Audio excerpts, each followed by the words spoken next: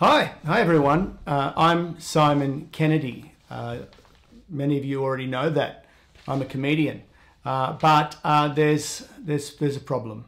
This other Simon Kennedy, I've been reading, well, reading. I've been looking at the TWT, which is the Weekly Times. I like to call it the Twit. It's a local paper uh, in the northern suburbs of Sydney, and um, on the front cover here, look. Apparently, this is Simon Kennedy.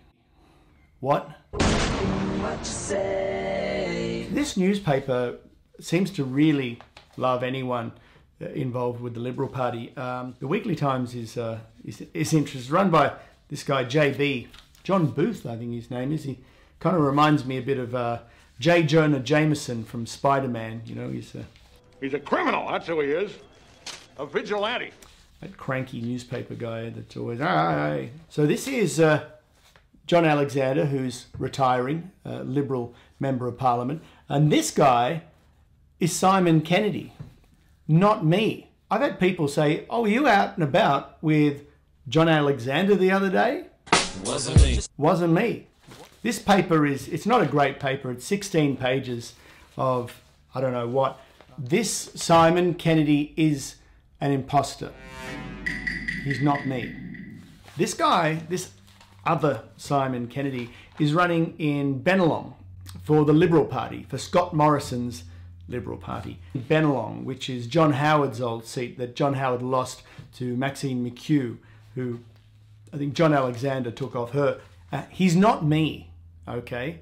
Um, a lot of people seem to be getting confused. He's not funny at all beware fake Simon Kennedys. Now this guy, there's there's a little picture here. This is the Labor candidate who is uh, apparently known around the area, um, popular guy. He gets a little picture.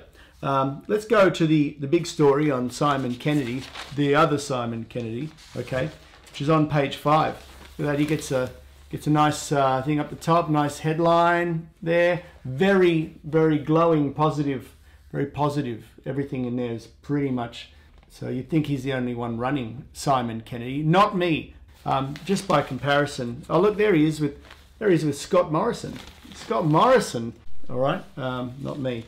Well, there's there's a, there's a story about the Labor candidate there too. Sure, um, he's somewhere. Oh, it's down here. It's real small. I can't even read that without. Um, yeah, it's it's not positive. It's not positive at all. Um, but at least he's the only Jerome Laxale. Uh, that's not my name. He's not. He's not stepping on my toes, and apparently isn't as newsworthy as a car park. But Simon Kennedy, on the other hand, oh Simon, were you at the Epping Club the other night accepting the Liberal Party's nomination? Wasn't me. No, wasn't me. Oh Simon, have you been living in Maroubra for a long time, and now you've just come back to the area to run. No, that's not me. That wasn't me. That wasn't me. That's someone else. Wasn't me. That's the other Simon Kennedy. If you see someone called Simon Kennedy getting out and about, it's not me. You know, I spent a lot of time trying to make people like me. Um, this is not going to help.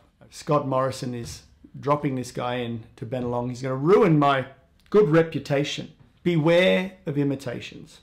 Hey, Simon Kennedy, are you the guy who worked for consulting firm McKinsey Partners and uh, helped to, uh, you know, give some advice on the JobKeeper thing that Harvey Norman took $22 million of, even though they posted massive profits? Is that is that you? Wasn't me. Wasn't me. It wasn't me. Not me. Simon says don't vote for Simon. Beware fake Simons. So that, that's my message, all right? Beware of fake Simon Kennedys. And uh, if you do have a puppy you're training or uh, maybe a budgie that you need to line the cage. Plenty of copies of this around.